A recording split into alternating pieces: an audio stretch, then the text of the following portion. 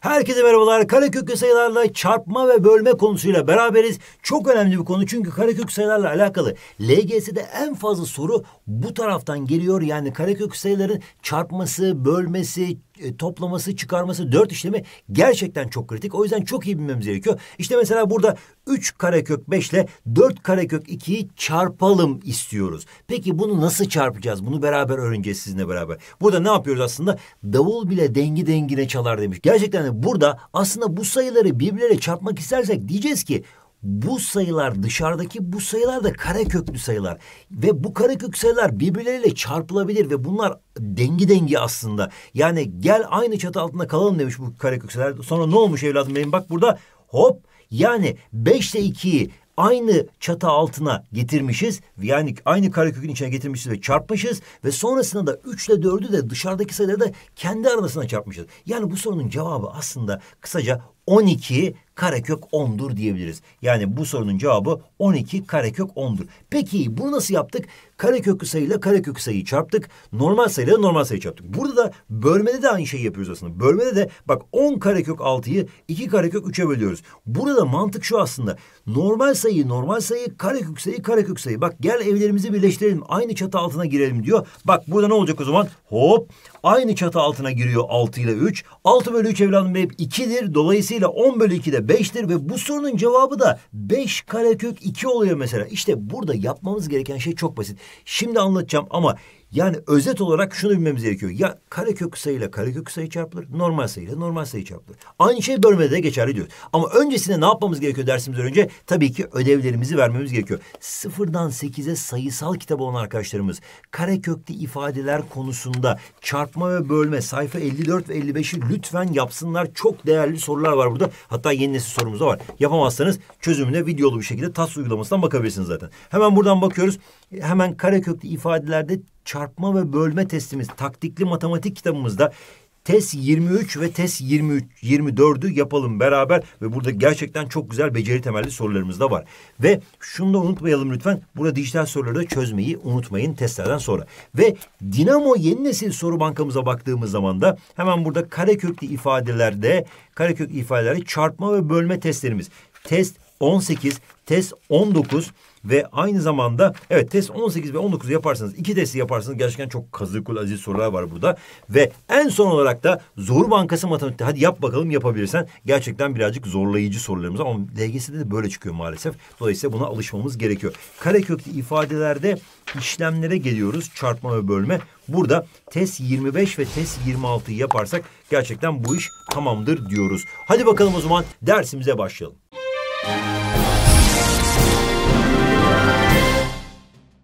Bir kere karekök sayılar çarpma bölme gerçekten inanılmaz basit.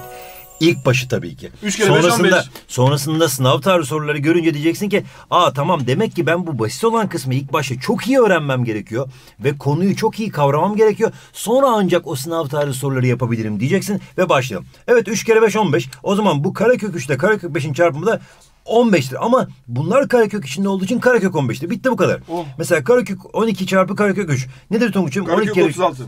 Süper. Karekök 36'nın kaç olduğunu biliyoruz Tonguç'um. 6 kere 6. Süper. 36 neyin karesisin sen? 6'nın. O yüzden cevabımız 6'dır diyoruz.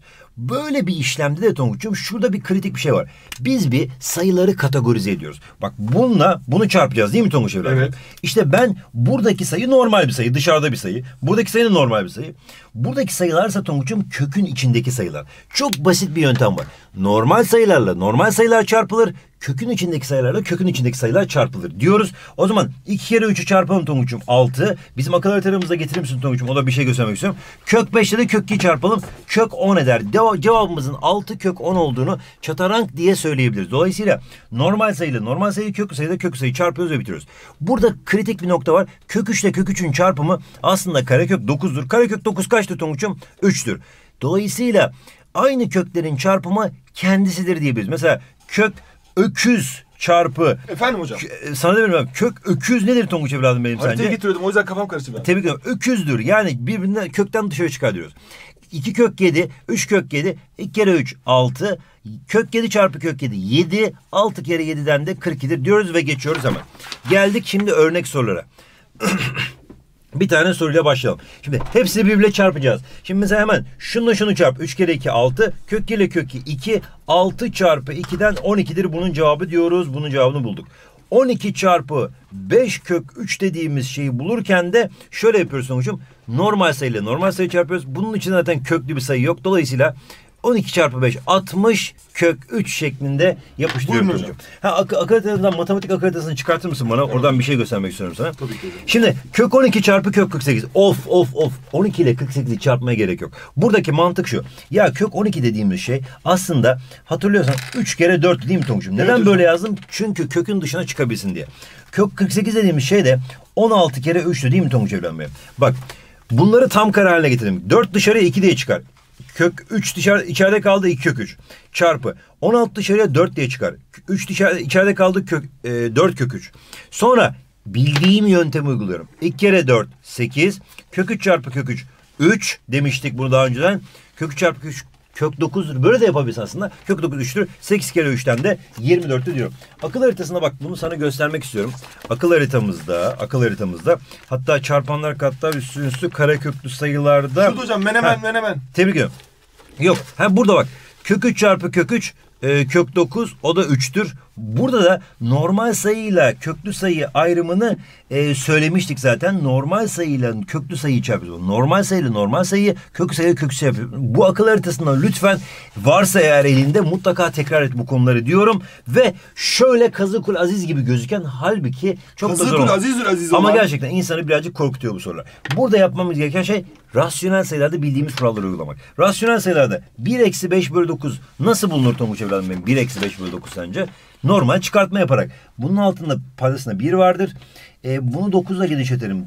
9 bölü 9 eksi 5 bölü 9 karekök içinde. Sanki hiçbir şey olmaz gibi gözüküyor. Ama bak bir şeyler olacak. Bunu bunun altında 1 vardır. Bunu 25 ile genişletiyorum Tonguç'um.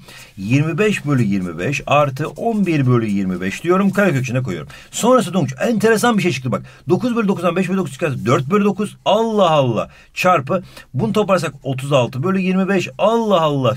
4 nedir Tonguç? 4 neyin karesi 2'nin. 2.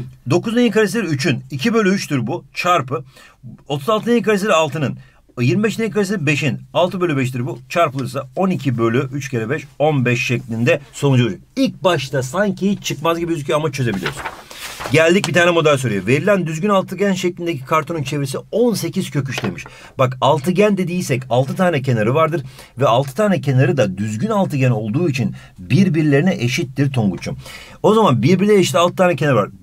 Çevresi 18 kök 3 ise 18 kök 3'ü benim 6'ya bölmem gerekmiyor mu Tonguç evladım? Evet hocam. Bir kenarını bulabilmek için. 18 kök 3'ü 6'ya bölsem 18 kök 3 e, acaba 6 ile neyin çarpımı 18 kök 3 eder dersek bununla bu sadeleşir çat diye 3 kök 3'tür. O zaman bir kenarının 3 kök 3 olduğunu söyleyebilirim Tonguç'um. O zaman bak istersen toplayalım. 3 kök 3 artı 3 kök 3 artı 3 kök 3 artı 3 kök 3 toplamı hepsi 6, 18 kök 3 eder. Böyle de çarpabiliriz. 6 çarpı 3 kök 3'ten çat 6 kere 3 18 kök 3 diyebiliriz. Sonrasında Tonguç yapmam gereken şeyi sana göstermek istiyorum. Bir kenarı buysa eğer ve bu düzgün altıgense içerideki zımbırtı da kare ise bunun da bütün kenarları birbirine eşittir Tonguç'um. Bak bunun da bütün kenarları. O zaman bu üç kök işte bunlar da üç kök üçtür. Bu karenin alanını sormuş. Alan nasıl bulunurdu? İki kenarın çarpımı. İki kenarı birbiriyle aynı olduğu için 3 kök 3 çarpı 3 kök 3 ile buluyoruz karenin alanını. 3 kere 3 9. Kök 3 çarpı kök 3 kök 9. Kök 9 zaten 3'tü. 9 kere 3'ten de 27'dir karenin alanı diyoruz ve geçiyoruz. Bölme dediğimiz şey inanılmaz basit. Aynı şeydeki gibi çarpmadaki gibi. Tabi sorularından ziyade ilk başta temelleri basit. Hemen kök 5, kök 15 bölü kök 3 ne der Tonguç evladım? E, 15 bölü 3 5. 5 ama kökün içinde olacak. Kök 72 bölü kök 8, 72 bölü 8 9 olduğu için kök 9. Kök 9 kaçtır? 3'tür. Direkt cevabı bulduk. Burada da Tonguç'um normal sayı normal sayı, köklü sayı köklü sayı, normal sayı normal sayıya böldük. 2, köklü sayı köklü sayıya böldük. Kök 2. Aman dikkat çünkü bunlar kökün içinde. Burada da Tonguç evladım benim hemen şöyle bir şey yaparız. İlk başta şu iki çarpmayı yaparız. Kök 75 bölü bu kök 3 çarpı kök 5 kök 15'tir. Bunlar birbirine bölünür. Kök 75 bölü kök 15 de kök 5'tir Tonguç'um. Çünkü 75 bölü 15 5'tir diyoruz ama kökün içinde. Geldik bir tane örnek soruya. Hem çarpma hem bölme var. Bunları beraber yuvarlamaya çalışıyoruz. Ama Oh be. öncesinde çok büyük sayıları çarpmaktan ziyade ne yapacaktık? Bunları çıkartabildiğimiz kadar çıkaracaktık. 10, 48 dediğimiz şey 16 çarpı 3'tür aslında. Çarpı diyorum. 72 dediğimiz şey de e, kaç olsun? Ha, 36 çarpı 2'dir aslında. E, 54 dediğimiz şey de Tonguç evladım benim 6 kere 9 6 çarpı 9'dur. Ben bunu niye böyle yaptım? Niye 6 9 yaptım? Neden böyle yaptınız? Niye 18 3 yaptım? Çünkü o 9 bir tam karedir. 36 bir tam karedir. 16 bir tam karedir. Dışarıya çıkabilecekler. Dışarıya çıkartalım şimdi bunları. 16 dışarıya 4 diye çıkar. 4 kök 3 hop çarpı 36 dışarıya 6'ya çıkar. 6 kök 2 bölü 9 dışarıya 3 diye çıkar. 3 kök 6. Bunları eğer yapamıyorsan kafadan ne yaparsın biliyor musun? İnanılmaz mısın? 72'yi böyle çarpanlayacaksın. 2'ye böldük 36. 2'ye böldük 18. 2'ye böldük 9. Ee, 3'e böldük 3, 3'e böldük 1. Bak bu ikisi bir tane olarak çıkar 3 diye. Bu ikisi bir tane olarak çıkar 2 diye. 3 kere 3 6. Bu da içeride kaldı 2. 6 kök 2. Bak aynı şeyi ben de burada buldum. Dolayısıyla her türlü yöntem var. Hiç endişe etmeye gerek yok. Şimdi burada ne yapacağız sonuçum? Çarpmayı yapalım. Kök e, 4 kere 6 24. Kök 3 kere kök 2 kök 6 24 kök 6 bölü 3 kök 6 diyorum. Çatarank diye bunlar birbirini sadeleşti. 24 bölü 3'ten 8 cevabımız diyoruz. Geldik bu soruya. Hemen normal bölme yapalım. Bununla bu bölünür. 5 çıkar sonuç. Kök 18'i kök 6'ya böldüğüm zaman kök 3 çıkar. Bir de yanında kök 3 ile çarpıyoruz. Şimdi burada yapmamız gereken şey. Bunun başında ne var Tonguç evladım? Görünmez Görünmez bir. bir bir vardı. Tebrik ediyorum. Bravo diyorum sana. Ben 5 kendime kere 1. giriyorum da hocam. 5 e, kök 3 çarpı kök 3'te 3'tü demiştik daha, önce, daha önceden 5 kere 3'ten de cevabımız 15'tir diyoruz ve geçiyoruz. Şimdi bir tane model soru çözelim sana böyle. Alanı kök 900 santimetre olan dikdörtgen şeklindeki telin kısa kenarı 3 kök 2 santimetredir demiş. Tamam buradan burada vermiş görüyoruz. Bu tel A köşesinden koparılıp kare yapılmak isteniyor demiş. Buradan koparacağız. Buna göre oluşan karenin alanı demiş. Hemen alanı kök 900 ise diğer kenarını bulabilmek için neydi? Bununla bunun çarpımı buydu. O zaman kök 900'ü ben 3 kök 2'ye bölersem Tonguç evladım benim. Kök 900 dediğim nasıl böleceğim bunları? Hemen bunu kök içine atayım Tonguç. Atalım hocam. Evladım 3'ü içeri atsak ne olur? Kök 900 bölü kö- karekök içine 3 9 diye girer içeri. 9 kere 2 18 eder. Kök 900 bölü 18'de kök 50 eder. Çünkü 900'e 18'e bölersek kök 50 eder. Peki 50 dediğimiz şey aslında 25 çarpı 2 değil miydi? 25 5 diye çıkmaz mı? O zaman 5 kök 2 değil midir? O zaman diğer kenarının 5 kök 2 olduğunu buldum. Şimdi sor, sorduğu şey şu. Bu teli alıyoruz ve bu teli bir kare yapıyoruz. Kare yaptığımız zaman dikkat bu telin bir çevresi var değil mi? Burası 3 kök 2, burası 5 kök 2. O zaman toplam çevresi 3 kök 2 artı 5 kök 2 artı 3 kök 2 artı 5 kök 2 şeklinde bulunabilir. E bunları topladığımız zaman 3 elma, 5 elma, 3 elma, 5 elma şeklinde topladığımız zaman karşımıza 16 tane elma çıkar. 16 tane kök 2 eder. Biz bunu ne yapmamız gerekiyor? Bir kare yapmamız gerekiyor. Bu kareyi de dörde bölmemiz gerekiyor ki çevresini dörde bölmemiz gerekiyor ki bir tane kenarının kaç olduğunu bilelim. Çünkü bütün çevreleri kenarları birbirine eşittir. Bununla bu sadeleşirse 4 kök 2 eder. Bir kenarının 4 kök 2 olduğunu söylersek Tonguç evladım benim alanı nedir dersek 4 kök 2 çarpı 4 kök 2'dir. O da 4 kere 4 16 kök 2 çarpı kök 2 2 16 çarpı 2'den de 32 santimetre karedir diyoruz ve diğer sorumuza geçiyoruz. Şimdi geldik sınav tarzı soruya. Şekilde alanı ve kısa kenarı verilen bahçe birbirine eş, şek- eş kare şeklinde bölgelere ayrılmak isteniyor demiş. Her bir bölgeye tanesi 3 kök 2 TL olan fidanlardan bir adet dikileceğine göre fidanlara en az kaç Saçma sapan fidan fiyatı. Hayır efendim kaç kaç lira öyle. Şimdi bir kere şunu yapacağız. Alanı 18 metrekare ise bir kenar daha doğrusu özür dilerim şurayı hemen düzeltiyorum. Burası metre diyelim. Metre diyelim.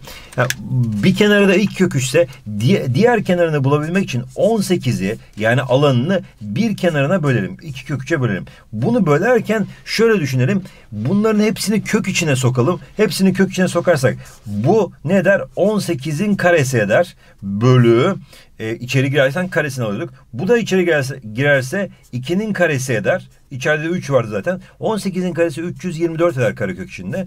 E, 4 kere 3 de 12'dir. Karekök 12'dir.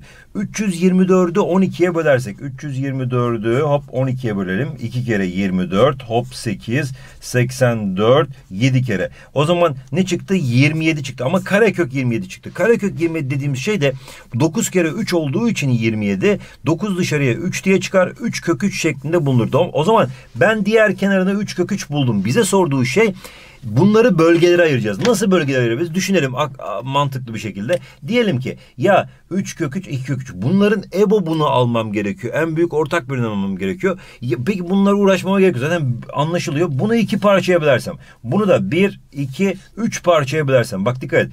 Burası da kök 3 oldu. Burası da kök 3 oldu. Burası da kök 3. Burası da kök 3. Burası da kök 3. Çünkü 3 tane kök 3 vardı burada. Burada 2 tane kök 3 vardı. 1, 2, 3, 4, 5, 6 tane alan çıktı. Her bir alana 3 kök 2 TL'lik bir adet fidan dikiyoruz. Buraya bir tane fidan diktik. Buraya bir tane fidan diktik. Buraya bir tane. Buraya bir tane. Buraya bir tane. Buraya. Toplam 6 tane fidan. 6 çarpı 3 kök 2 benim toplam ödediğim parayı verir. 6 kere 3 18'den normal sayılarla normal sayıyla çarptım. Cevabımız da 18 kök 2 TL eder. Bu haftanın ödül sorusunu yap yorumlara yolla. Hadi bakalım evladım.